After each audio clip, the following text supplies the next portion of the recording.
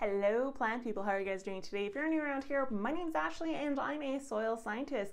On this channel, I like to take that science and apply it to all things plants, both indoors and outside. And today's video is another episode of the Plantmas series, my knockoff of Blogmas.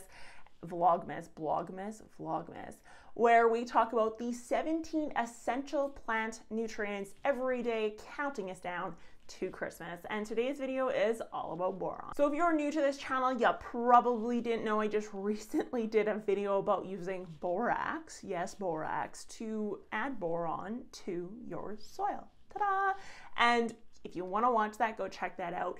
So that means this video, while important because it is the 17 essential nutrients, will not be that long, only because there's literally a very long version of this just recently posted not too far back, and I will leave the link for that down below. So boron is an, seven, one of the 17 essential plant nutrients, but it is considered a micronutrient. And it is particularly important when it comes to cell division and the new roots and shoots. So the apical meristems on both the roots and the shoots have a huge component of it is boron. So as you guessed, that means it is an immobile nutrient. And that means that it has one way, it's a one way elevator for boron and that is up. So once it gets to the new growth, that is where it stays. That means if you have a boron deficiency or if you have excess boron in your system, that it's going to show up in your new roots and shoots. Now, given you're probably not going to know if it's showing up in your roots because ultimately those are under soil, but you can see it in your new upper foliage growth. So the forms that is uptaken is borate and boric acid. So boric acid is what we see in the borax, for example. It's actually the exact version that is bioavailable to the plant. And this is done through root interception. So this is again that mechanism where the tip of the root has to come in contact with either borate or boric acid, either form, and that is how it's uptaken. And the borate and the boric acid cannot be too tightly bound to the clay or too tightly bound within the soil system. And the bound or the, the level, the affinity it has to grab at those soil particles comes down to the pH itself. So if you have a boron issue, again, you're gonna wanna go back to the pH. You're gonna wanna make sure it's between that 5.5, 6.5 level in order to really make sure you're getting optimal uptake. Now keep in mind, as your soil gets more acidic, the more boron that is bioavailable. So container gardeners, indoor gardeners, or potting soil, houseplant people, anyone using a peat-based soil, I highly recommend adding like a lime into the mix. Um, and I did a whole video on lime or uh, potting soil pH because as it gets more acidic, more boron is uptaken.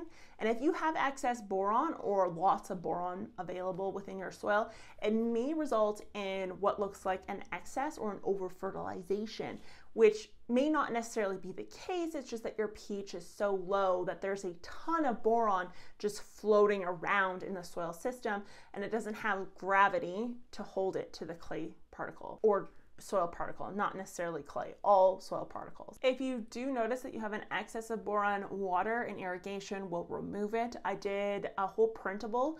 You guys can grab that with the link down below. It's free. It's just a PDF uh, showing you how to properly water your plants. This is particularly important for anyone using a potting soil or inside of a closed system. You want to leach out anything that's kind of floating around in the soil solution ultimately just to help keep that balance. Calcium is actually a uh, molecule that will reduce boron uptake ultimately. Unfortunately, it will reduce uh, boron uptake, but that's only when calcium is in excess. So if we're able to control the levels of calcium that are available, we are made in the shade. Now, if you're wondering how to add boron into the system, obviously borax is a way to do this. You guys can check out that video that I did, but another way is just through organic material. So this can come in the form of compost, manure, whatever the case is. I personally push for diversity, so different types of compost manures. I'm not saying you have to go buy five bags of each every year and, you know, mix it into your potting soil or mix it into your outdoor soil. That's not what I mean. I mean just every year, maybe rotate the type of manure or the type of compost you're using just to help supply different versions of microbes, different versions of nutrients, that sort of thing. But boron is available in organic matter in general. So as that breaks down over time, it will become available to the plant. So it's important to remember if you do choose to use borax, reflect on how much organic material you've added and whether or not that may or may not be necessary. And that goes for ultimately any of the nutrients. Balance is key because once you get out of balance, like for boron, for example, if you end up with excess calcium, then you can restrict boron uptake and it's going to show up as a boron deficiency, despite the fact that there may be a ton of boron in the system. And that's because these little ions aren't just like latched on the soil sitting there and then they get released in the water and the plant uptakes them. They're all fighting. They're all fighting to get into the plant root. They're all fighting to get where it needs to go and they're kind of bouncing around. They're not static in the sense that they're just in one location.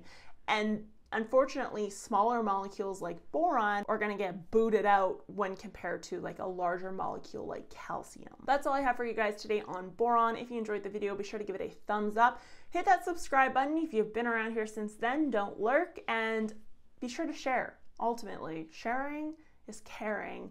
And that is the number one way I get views here because YouTube doesn't, I don't know, push me out. I'm not YouTube likes me, but just not that much yet. They will learn to love me. I promise you that. Anyways, I want to thank you guys for watching, and I will talk to you guys next time. Bye.